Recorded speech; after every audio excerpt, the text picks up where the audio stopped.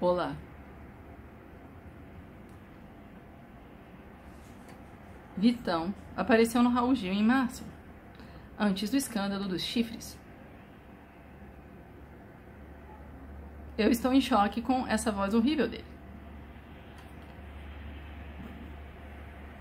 Que coisa horrorosa. Esse cara não canta nada, fica assim, tem a voz assim, Parkinson nas cordas vocais. Ele é péssimo. Aí você chega, você tá aqui vendo aqui, eu tô Raul Gil e Márcio. E mundo é quem tá embaixo sempre vai ter seu momento de Ele é um rapper com desvio de septo. Gente, é absurdo isso. Assim, você vê um cara desse, você vê, tá aqui no Raul Gil. Assim, a gravadora pagou pra ter esse espaço. A gravadora paga para colocar as pessoas assim em espaços em programas, ou então para impulsionar o artista no Spotify, tudo isso é pago. Não pensem que é uma coisa assim é, orgânica, não. Tudo isso é pago pelas gravadoras. Agora, uma pessoa dessa. Aí, aqui, ó, se eu olhar aqui, o sujeito que tá, ele tá sem graça. Ele tá sem graça, ele não tá gostando. Esse barbudinho aqui, bonitinho, ele não tá gostando disso. Ele tá com uma cara sem graça.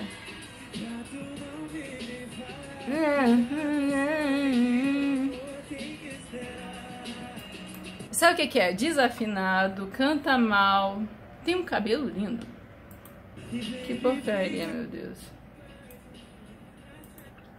Que porcaria. É horrível isso. É uma. As pessoas aqui, os comentários, os meus ouvidos estão chorando.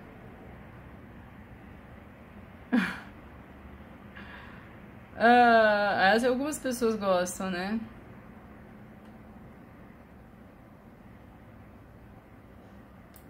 É, é, lamentável que realmente a comunicação de massa, as gravadoras, tenham deixado de lado o talento para investir em nada. Porque isso é nada. Isso daqui não tem nenhuma consistência, isso não tem nada, isso não tem nenhuma beleza, isso não tem ele não canta bem, ele é só bonitinho. Esse é um país que já teve Clara Nunes, que já teve. Cara, isso é um absurdo. Assim, realmente é uma. É uma lástima. É uma lástima. Né? Não vale a pena tocar um instrumento, não vale a pena aprender a tocar um instrumento. Porque você tem que chegar e você tem que ter contatos, possivelmente transar com alguém muito poderoso para conseguir aparecer. Independente de ter talento ou não, né? Pelo visto é isso, né? Não, é lamentável, horrível. E nem fala bem assim. Cara, coisa horrorosa, né? Então, boa tarde a todos. Né? Não ouçam essa porcaria, né?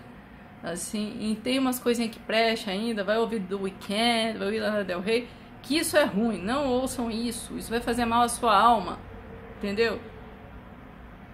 Daqui a pouco você vai estar chifrando teu marido na cama dele. Brincadeira, né? Mas, cá entre nós, alguém saberia quem era Luísa Sonsa se não fosse o Whindersson Nunes?